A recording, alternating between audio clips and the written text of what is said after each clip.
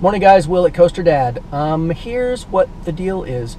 Every Saturday morning, I take Lyle off to his parkour class, which is a which is a sort of a gymnastics parkour. Google it. It's it's it's really cool. Parkour is fun, and Lyle loves to do it, and so do his friends in the neighborhood. So, on the way to parkour, Lyle and I talk about all sorts of stuff. We talk about how the week went. We talk about what we want to do next week. We we joke around. We have a really really nice time, and I I treasure these these times that I spend in the car with Lyle. Um, so what I did was I just taped one, and this is I'm kind of doing the intro after the the event. I just taped one because a whole bunch of what we talk about in the car has to do with what we're going to do next week. What's coming up on the uh, what's coming up on the on the videos on the YouTube channel. What kind of stuff Lyle wants to do next, uh, because he really is the the driving force behind uh, most of what happens here. Um, and and it's a it's a really fun experience for me. So I'm going to share one with you. If you like it, you know, comment, thumbs up, like it, share it, subscribe to the channel, do all of those things that let me know that you enjoy it, and then we could make it a weekly uh, we could make it a weekly thing if you think it's if you think it's cool. So anyway, here is Dad and Lyle in the car. Wait, Dick's Sporting Goods is a sporting goods store, right? Yeah. No, I got it at uh, Friedman's Appliance in Concord. Did you hear my question? Dick's Sporting Goods is a sporting goods store, right? Wow, you're a, you're an incredibly smart kid. I wasn't think That Lyle is so smart. Dick's Sporting Goods is a store. Your son is so smart. Oh yeah. Very quick on the uptake. Uh, okay, so you'll work on the you'll work on the domino, the ending part. I'll I'll like climb around the track all day and set up the thing.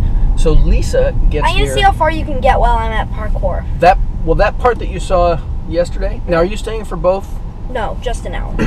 Okay. So that thing that you saw yesterday, because if you're staying for just an hour, I got to pick up some more solder for the wel- I, I used an entire spool of solder in the welding machine.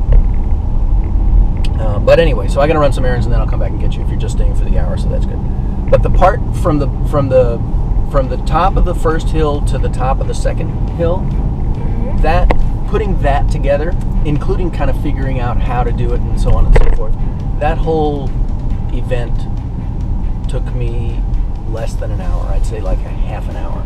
So what I think is now that I kind of know how to do it, I have enough sticks. I've got a very clear idea of how to how to piece the thing together, and I also have a deadline. Uh, I've got to get it done.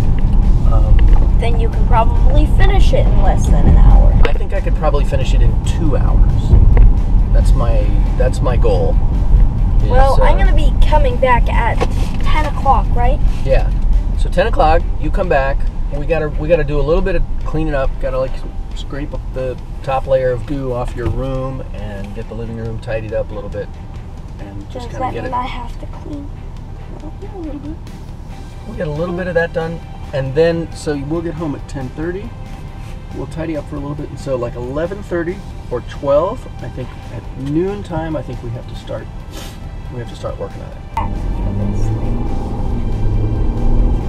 What are the What are you learning at parkour today? I have no clue, but I am gonna practice my backflip quite.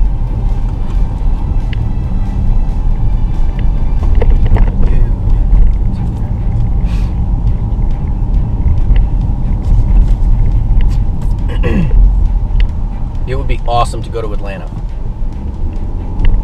Would that be fun? I hope the other guy's there. There's Rowan and then this other guy that does flips every time. A kid? Um, one of one of the instructors does flips. One of the instructors? You don't remember his name? no, Is it Patrick? no. Rowan is so cool.